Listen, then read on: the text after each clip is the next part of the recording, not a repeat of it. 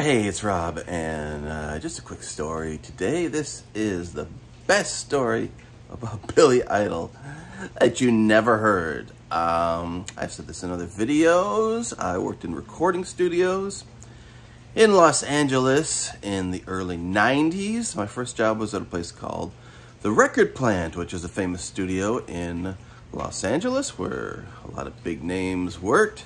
At the time, we had uh, Crosby, Stills, and Nash, Guns N' Roses, Bonnie Raitt. A lot of people doing big records there. And uh, at one point, we had Billy Idol coming in to do something, whatever he was working on at the time. And um, I was uh, promoted recently at that job because I started as the parking lot attendant and at this point, I had been uh, promoted to the midnight to 8 a.m. janitor. So things were looking up in my life. Uh, I hated it. I sucked at being a janitor.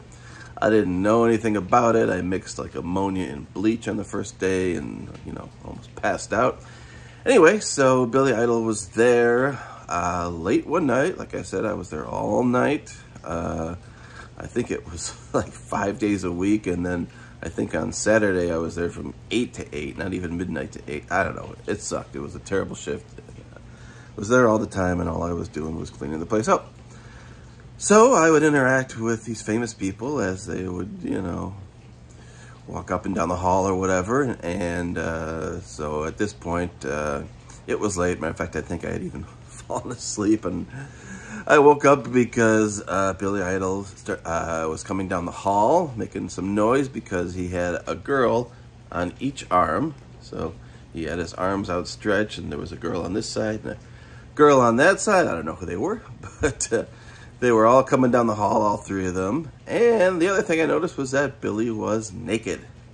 and uh, he wasn't actually 100% naked because he uh, was wearing a sock um, he was wearing a sock, but yeah, it wasn't on his foot.